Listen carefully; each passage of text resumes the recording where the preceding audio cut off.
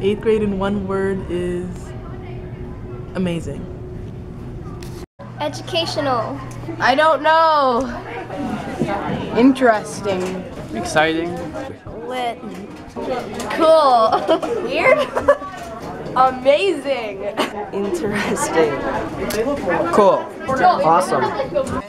Entertaining. Interesting. Interesting. Exciting. Awesome. Cool. Cool. Cool. Cool. Cool. Homework. It's lit.